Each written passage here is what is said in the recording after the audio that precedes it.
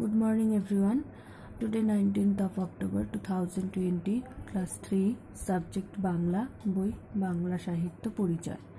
আজকে আমরা করব তোমাদের টেক্সট বুক থেকে একটি নতুন গল্প and this is revision class গল্পের নাম টুনটুনি আর রাজার কথা লিখেছেন উপেন্দ্র কিশোর রায় চৌধুরী। এটি একটি মজার গল্প। তো এই গল্পটি তোমরা কিন্তু বাড়িতে খুব ভালো করে বারবার করে পড়বে। আমি গল্পটি ছোট্ট করে তোমাদের সামনে তুলে ধরছি। এক রাজা ছিলেন, সেই রাজার বাগানের কোণে একটি টুনটুনি পাখি থাকতো বা টুনটুনি পাখির বাসা ছিল। একদিন রাজা কি করলেন, তার সিন্দুকের টাকা রোদে শুকোতে দিয়েছিলেন। তো সন্ধ্যার সময় রাজার লোকেরা সেই টাকা তুলতে গিয়ে একটি টাকা ভুলে সেখানে ফেলে আসে। আর টুনটুনি সেই টাকাটি তার বাসায় এনে রেখে দেয় আর মনে মনে ভাবে সে কতই না বড়লোক হয়ে গেছে। এরপর টুনটুনি বলতে থাকে যে রাজার ঘরে যে ধান আছে টুনির ঘরেও সে ধান আছে। তো রাজা এই কথা শুনতে পেয়ে তখন তার লোকদের বললেন যে পাখিটা কি বলছে? তখন সবাই বললেন যে টুনটুনি পাখি বলছে, রাজার ঘরে যে ধান আছে টুনির ঘরেও নাকি সে ধান আছে। তো তখন রাজা তার লোকেদের বললেন যে তার বাসায় কি আছে সেটা দেখে আসতে। তখন সবাই দেখে এসে রাজাকে বললেন যে টুনটুনির বাসায় একটি টাকা রয়েছে। তখন রাজা শুনে বললেন যে, সেটা তো আমার টাকা, তোরা সেটা নিয়ে আয়।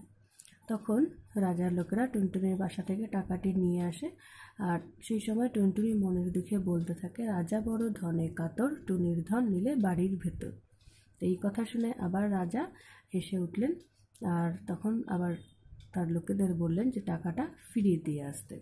এবার টাকা ফিরিয়ে পেয়ে টুনটুনি খুব আনন্দ হয়েছে আর সে তখন কি বলছে, রাজা ভারী ভয় পেল, টুনির টাকা ফিরিয়ে দিল। এবার রাজা জিজ্ঞেস করলেন যে, পাখিটা আবার কি বলছে? তখন তার লোকেরা বলছে যে, মহারাজ নাকি বড্ড ভয় পেয়েছেন, তাই টুনির টাকা ফিরিয়ে দিয়েছেন। এবার রাজা মশাই এই কথা শুনে খুব রেগে গেলেন। তখন তিনি তার লোকেদের আদেশ দিলেন যে, টুনটুনিকে ধরে আনার জন্য। এবার রাজার লোকেরা টুনটুনিকে ধরে আনলেন আর সেই টুনটুনিকে ধরে আনার পর রাজা সাতরানীকে বললেন সেটা তাকে ভেজে খেতে দেওয়ার জন্য।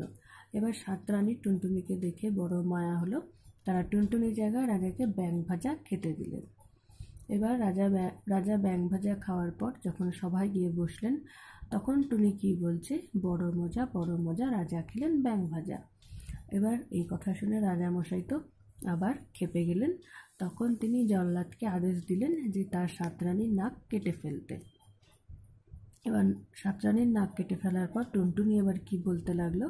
এক টুনিতেই টুনটুনালো সাতরানির নাক কাটালো। তখন রাজা আরও খেপে গেলেন, এবার খেপে গিয়ে কি বললেন? যে পাখিটাকে ধরে আনতে তিনি এবার সেটাকে গিলে খাবেন।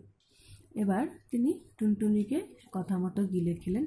এমন সময় রাজা এক মস্ত বড় ঢেকুর তুললেন। আর সেই মস্ত বড় ঢেকুরের সাথে টুনটুনি বাইরে বেরিয়ে এসে উড়ে পালালো। এবার রাজা বললেন, পাখিটাকে ধরতে অমনি রাজার লোকেরা চারিদিক ছুটে রাখিটাকে ধরবার সরি পাখিটাকে ধরবার জন্য গেল। এবার টুনটুনি কি করল? টুনটুনি রাজামশাই, রাজামশাইয়ের কাছেই ছিল, অর্থাৎ আশেপাশেই উড়ে বেড়াচ্ছিল। এবার সিপাহী কি করল? তরোয়াল বের করে টুনটুনিকে দু টুকরো করার কথা ভাবলো। এবার যেই না টুনটুনিকে সিপাহী মারতে গেল, টুনটুনির গায়ে আঘাত না লেগে সোজা সেই তরোয়ালটা পড়ল রাজামশাইয়ের নাকের ওপরে। এবার রাজামশাই চেঁচিয়ে উঠলেন, তারপর তার সবার লোকজন ডাক্তার এসে ওষুধপট্টি বেঁধে রাজামশাইকে অনেক কষ্টে বাঁচালেন। এবার টুনটুনি তা দেখে কি বলতে লাগল? নাক কাটা রাজারে, দেখ তো কেমন সাজারে। এই বলেই সে সেই দেশ থেকে উড়ে চলে গেল। আর রাজার লোক ছুটে এসে দেখল যে তার খালি বাসা পড়ে রয়েছে। তো এটা ছিল তোমাদের টুনটুনিও রাজার গল্পের মূল কথা। তো গল্পটা কিন্তু তোমরা বাড়িতে খুব ভালো করে বারবার করে পড়বে।